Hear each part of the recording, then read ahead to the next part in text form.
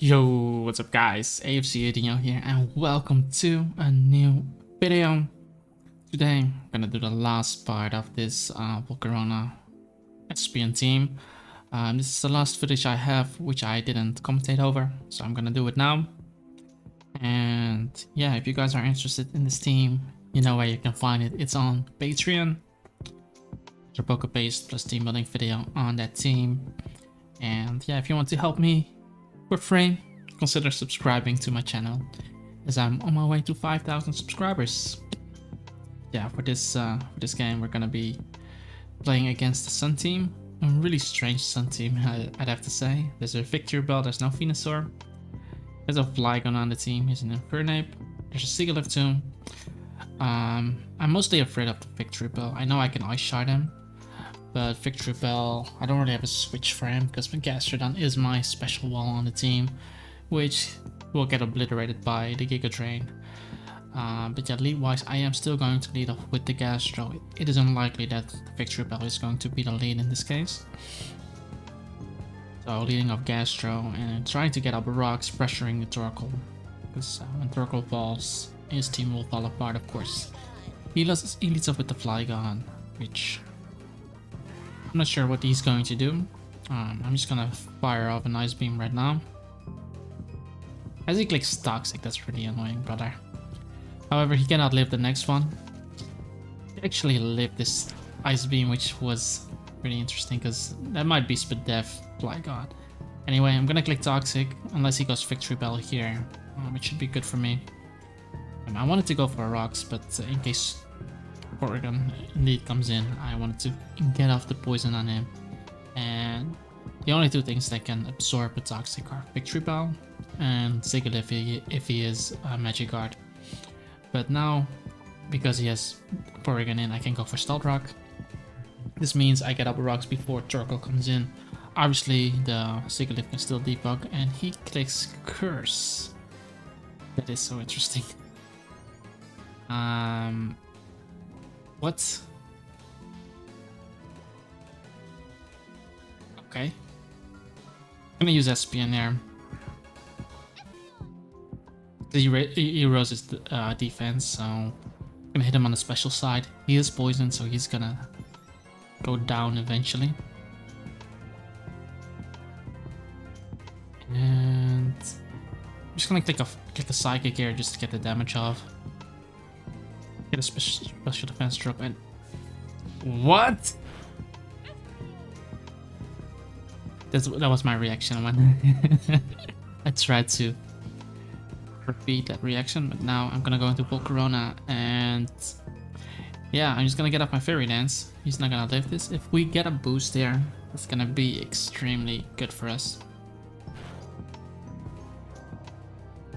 We got the boost. And yeah, a few things he can do. He can maybe go into his... Um, he can maybe go into his Flygon, but he decided to go into this, meaning I can go for the Quiver Dance as he tries to go for Psyshock. And yeah, at this point, uh, I'm going to be too much of a menace for him to deal with, so I'll be able to throw off my Fiery Dance. I don't knock him out, but if I get another boost, then he will eventually get swept. Because to stop me, he needs to get in his Torkoal first. And we get another boost there. Goes for Psyshock. And since I am out healing his damage, he does less damage than half. I'm out healing with Roost, combined with the leftovers. I'm gonna go for one more. Obviously, I'm playing around a crit here, but I want to make sure I live Choice Band at Mach Punch. Because he cannot go into Victreebel, and I outspeed him with Volcarona, so on everything, and he decides to forfeit. So we beat we beat the Sun team, really interesting team he has. And let's just forget about this game and go to the next one.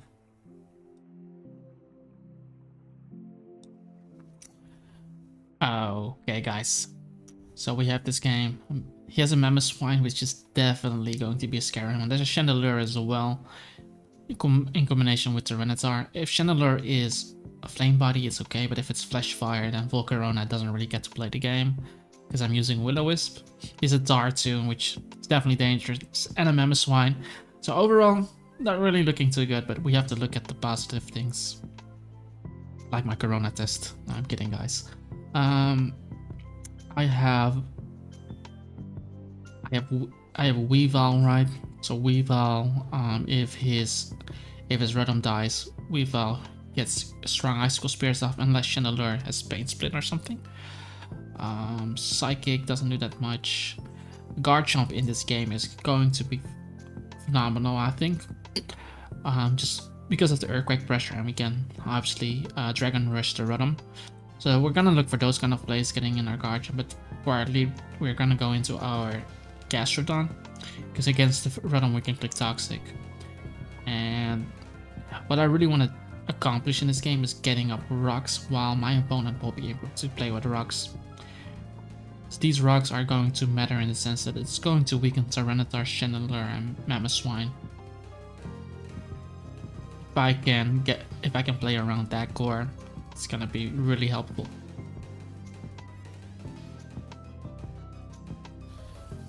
Yeah, our opponent's taking quite a while to choose his lead and he's leading off with his Rotom Wash, which I expected.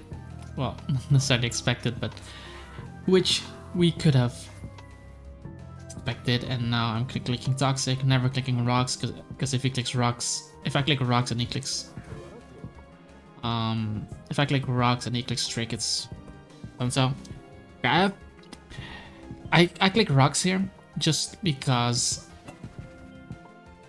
um I have a I have a Rindo Berry, but this still did surprisingly a lot, which is really annoying. Now I decided to bring in my Volcarona, knowing that I have Espeon in the back, but he just clicked rocks on me anyway, and this position is already, this is a horrible start. So from here, I'm gonna Quiver Dance here, as he brings in the Shell. If I can burn him, that's gonna be helpful, um, because with the burn, I have a much easier time switching into this guy, especially with Gastrodon now this low. He clicks Rock Slide, which already reveals to me that this might be um, Assault Vest. And I'm gonna Fiery Dance here just for the damage. That's definitely Assault Vest because I'm plus one. I don't get the boost, I would have been able to knock him out there. And yeah, from here, I can Fiery Dance again if I really want to, but I want to have HP on this. I'm gonna, so I decided to roost there. I was considering Will-O-Wisp on him switching out, but he, if I don't crit him, he's gonna live an extra attack, so he might just stay on me. But I really had to figure out how I was going to play out this game. But Mienshao now being, um, Mienshao now being uh, burnt is really helpful gonna relieve some pressure now. Um, Espeon can wall really well. But yeah, with Gastrodon being this low, I wasn't sure how I was going to deal with the star, so I decided to just go for the burn. Um, he has to be choice banned to knock me out. And he does Stone Edge me, and I do lose my Volcarona, which is unfortunate, but those burns on Tyranitar and Mienshao are going to stay. I know that I'm extremely weak to Mamoswine now, but he had the rocks up anyway. So now I'm gonna bring in my Garchomp. And assuming he's choiced, clicking the Hone Claw. Because he was burned. I'm pretty sure Adamant Max Attack is gonna kill me anyway, even with the burn. But I'm just gonna play off him being choiced and like I said, I need to play aggressively with my Garchomp. Guard jump was going to be extremely strong against this team. And I get off the Hone Claw. And remember guys, if I get rid of this Rotom, it's gonna open up my Weavile. So I'm gonna Dragon Rush this, hope that I obviously flinch the guy. We don't flinch him, he does burn us, but we still put his Rotom really low and he can basically not come in on anything. Espeon obviously knocks him out now. Um, cannot switch into Mandibuzz when I click Foul Play. And I'm clicking Earthquake here, anticipating the Ferrothorn, because that would have been a free kill. And we do hit the Ferrothorn, And damaging this Ferrothorn is also going to be really important in the end game of me clicking Icicle Spear with uh, my with my Weavile. So I'm gonna keep clicking it. He Leech, which is huge for me because I'm stack I'm still stacking up my Metronome, which he's not aware of now. And burning the Tyranitar really really helped me setting up this moment. But we still gotta be wary of the Mamoswine. However, we have Espeon alive.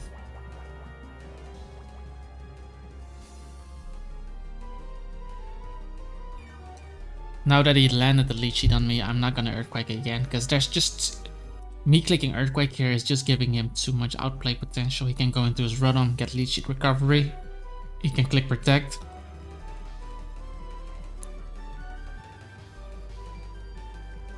I decided to bring in Espeon. Um, because Ferrothorn is low, he already got his rocks up. But he just click Power Whip and luckily for me he misses that one. It would have done like 40 something. But now I'll be able to do a bunch of things, but I think I just wish here. Um, the wish help me later in getting HP back on Weave Weavile or Mandibuzz if I can baton pass into it on, on the next turn. But switching into Tyranitar is much easier now, uh, because Mandibuzz should be able to handle Tyranitar now. And Mandibuzz from full HP can live and attack from Choice Banded Mamo as well and hit him with Foul Play, which is going to help me in the endgame of Weavile. However, there's obviously still a Chandelure sitting there in the back and my opponent clicks Explosion. But this Witch Play works out really well for me because now I get the free Protect. And Ferrothorn died, and I got a lot of value from my guard Garchomp even though it's burned because it weakened the Ferrothorn forcing him to click Explosion and Rotom is extremely low now. So right now the game is not looking too grim even though I don't have Volcarona for the Mamoswine. We're opening things up here and his Mamoswine is obviously still, still alive but I have Gastrodon as a sacrifice which I can still bring in on something. Garchomp is still alive too. And I can basically protect on this turn to make full use out of this. Because Tyranitar coming in doesn't matter. Now Mamoswine comes in. Obviously Metronome Earthquake can definitely be annoying. Uh, but I'll be clicking to protect anyway. And if he's choice banded, then um, it's gonna be helpful as well. He does go, go for the Earthquake. And I might just scope with a Psychic right here. Because Choice Banded Earthquake is not gonna kill me, and with the Metronome he's not gonna kill me either, and I need this chip for the Weavile. Rotom is now low. This is the only thing I gotta get low. And he does end up swapping into the Rotom, and Rotom is going to die to my Psychic. Would have been a cool play, um, in the sense that he could have clicked Defog or anything on my Gastrodon, but now I keep Gastrodon as a sec. I was still fine with him clicking Earthquake on my Espeon, like I said, I wanted to chip him. Now Mienshao comes in. And honestly, I can wish here, but I can also just Psychic him in case he tries to knock me off.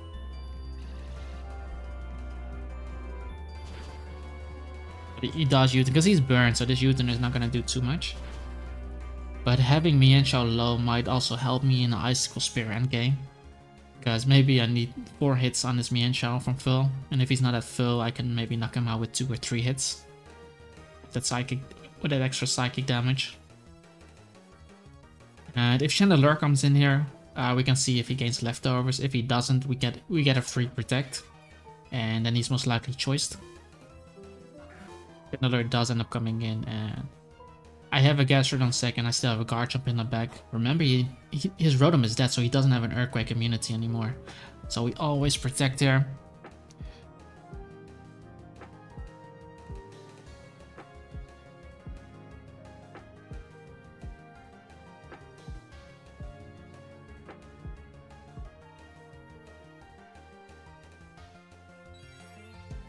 Really not so we're really putting ourselves into a good position. He clicks overheat. Definitely don't want to take it with S-Spin. I want to keep this HP so I can get at least one Psychic off on the Mamoswine. But I'm actually going into the Garchomp here instead.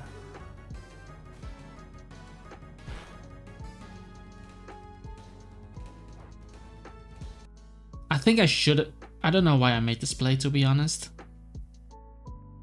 I think I should have sacked Gastro. What was my thought process? I should be second Gastro. Maybe I wanted to keep Gastrodon as a second to Mamoswine later.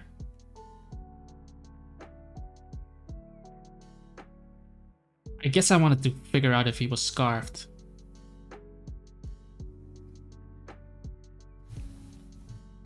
But I should always set Gastro so I can get a free Earthquake. Look at his team. Like Mienshao gets 2 hit KO'd even with the burn. Tyranitar is going to get oh god, and if I get the Earthquake damage off on Mamoswine, that's going to be helpful too. I'm not sure. Still clicks Overheat. And it doesn't kill me, which is awesome. You know, I get get this damage on the on the Chandelure. But I don't know why I didn't go Gastro. Because I basically put him into a position where Mamoswine needs to click um, Ice Shard on me. But now we get an Espeon again.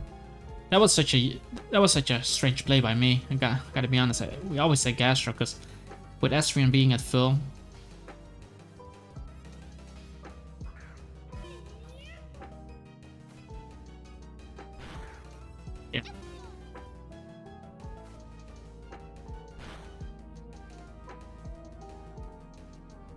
wish here.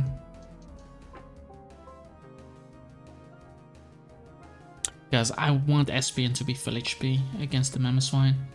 Around full, full HP. Let's see if he clicks U-turn or knockoff. He does go for the U-turn.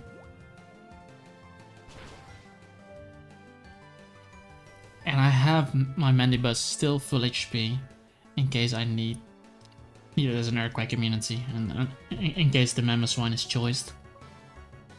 But with Espeon being at full HP, we basically get to find this get to find this out. Mamoswine will come in on the rocks. Brings in the tar. Which means I can utilize my Mamos uh, my Mandibuzz.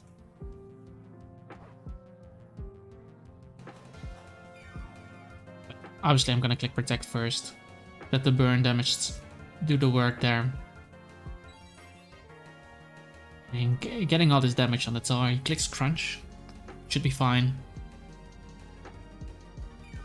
I get my HP back and we always go for the baton pass here. Well, maybe I just hard swap to Mandibuzz. Because I don't know if he's scarfed or bandit. Adamant Max Attack does knock out my Volcarona even if Tyranitar is burned, just due to the stab. I decided to sack my Gastro. And get a freeze up into Weavile probably. Go from that positioning.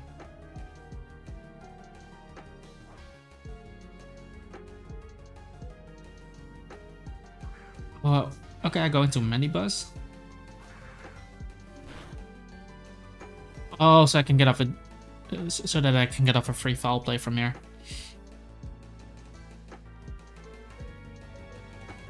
Because something has to come in on a foul play. Whether it's Tar, it's Espeon.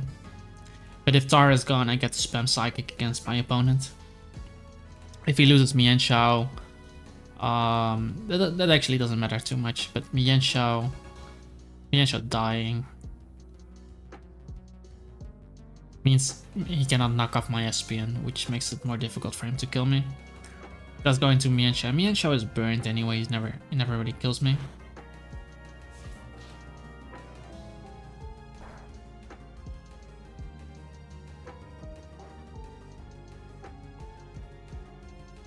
I can just foul play again. If he U-turns, he should be clicking close combat here. Or high jump kick, so I can get him Mamoswine. But if he if he U-turns here, something has to take a foul play. But I, I, guess I wasn't I wasn't certain if I would knock out the Tar, if it was worth it getting two hits on Tar there. But from here, you'll be able to click Foul Play, and if Tar is gone, then clicking Psychic with Espeon is to be super helpful.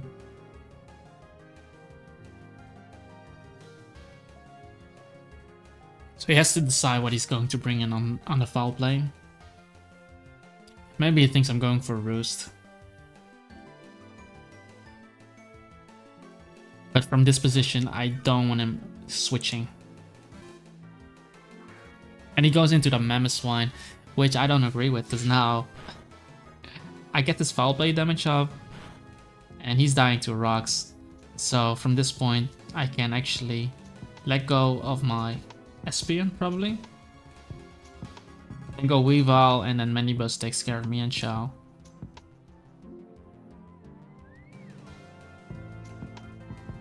Because I was probably calling it uh, Choice Benatar with Crunch would be able to damage me on Espeon. It's either second Espeon or Mandibuzz, because I, I just need to get in my Weavile. But him going... This was the worst play he can make. Like, he was really anticipating me to roost, but I don't need to roost. No, Icicle Spear into Psychic should knock out the Mamoswine, even though it's kind of resisted. So I decide to sack Mandibuzz here, he clicks Icicle Spear. And he does get the 3 hits. So I decided to end game this with Espeon, which is fine too, because like I said, I get in this guy, because of all the damage I got on Mienshao, um, Mienshao is not gonna survive Icicle Spear. Mamoswine dies to rocks. So first of all, I get a free kill, and then he has to go into it. He has to go into Mienshao, then switch into Tyranitar. But he, he goes for display instead, but it has to be in max because otherwise he wouldn't have killed my Volcarona which is the information I got, so two hits should still be sufficient enough, which it was. Tyranitar goes down, and now all he has left is, S is the Mienshao, and I do have Espeon in the back. But yeah, I don't think, I think I should have said, said Gastrodon instead of going hard Garchomp. It was such a misplay on my end. Because I could have gotten up that free Earthquake, he had no... Like, he had no immunity to my Earthquake. I don't know what I was thinking there. But from here, switch into the in, into the 1 HP Gastrodon. Because I wanted to keep Gastrodon as a sec, but I can keep Garchomp as a sec as well. Basically, I don't lose anything from clicking Earthquake. Especially because we saw him use Overheat, then Garchomp would have had more HP.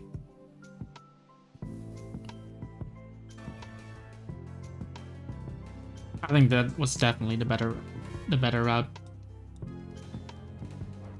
But uh, yeah, guys, uh, that's the last footage of what I had recorded on my laptop when I didn't have a microphone. Hope you guys enjoyed. If you have any questions, leave them down in the comments below. And yeah, make sure to subscribe and like as well. Dislike if you didn't like it. And check out the team on Patreon. There's a link to page to Patreon that you, you'll find a Poke Paste plus team building video. All the details of this team are there, guys. And thank you everyone for watching and hope to see you next time. Peace out.